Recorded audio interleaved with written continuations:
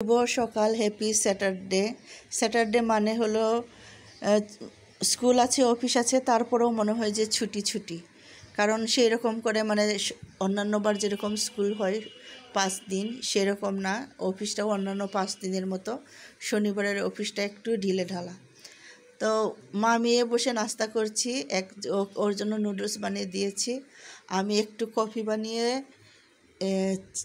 Toast দিয়ে ভিজিয়ে খাচ্ছিলাম। আমি আসলে চা বানাইতে একটু অলস লাগছিল। ওর নুডলসের জন্য আমি যে পানিটা গরম করেছি, সেখানে আমি একটু কফিটা বানিয়ে নিয়েছিলাম। সচরাচর আমি বাসায় কফি খাই না, আমার বেশি পছন্দ না। চাটা হয় কি, যে কোনো কিছু ভিজিয়ে খাওয়া যায়, ভালো লাগে। তো চা সবারই পছন্দ। একজন শুধু কফি পছন্দ করে। আর আমাদের চায়ের কাপের পিরিচ দেখে কেউ কিছু মনে করবেন না। আসলে বাসায় পিরিচ থাকে, এটা মানে সব বাসারই এরকম হয় যে কাপের পিরিচ কিন্তু ভাঙে না, কিছুই হয় না। পিরিচগুলো কিন্তু যুগ যুগ ধরে থেকে যায়, কিন্তু কাপগুলো থাকে না। তো বাসায় পিরিচ আছে কিন্তু আসলে কোনো দিনও ব্যবহার করা হয় না।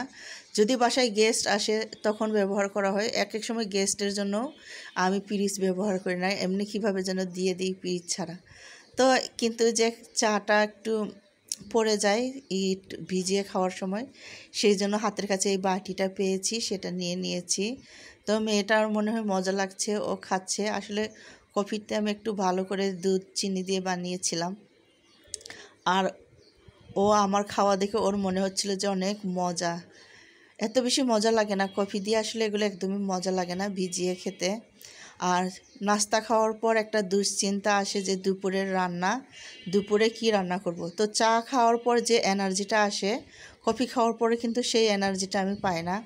তো একটু বসে বসে অলস লাগছিল, রান্নার কথা ভাবতে কষ্ট হচ্ছিল।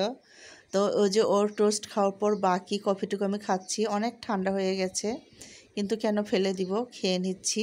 পরে আমি আবার কষ্ট করে চা বানাবো। এই যে অলসতাগুলো হলো এরকম, একটু অলসতা করলে ডাবল পরিশ্রম করতে হয়। আমি যদি শুরুতে চাটা একটু ভালো করে বানিয়ে নিতাম, তাহলে আমাকে দ্বিতীয়বার কষ্টটা করতে হতো না। তো সবাইকে ধন্যবাদ।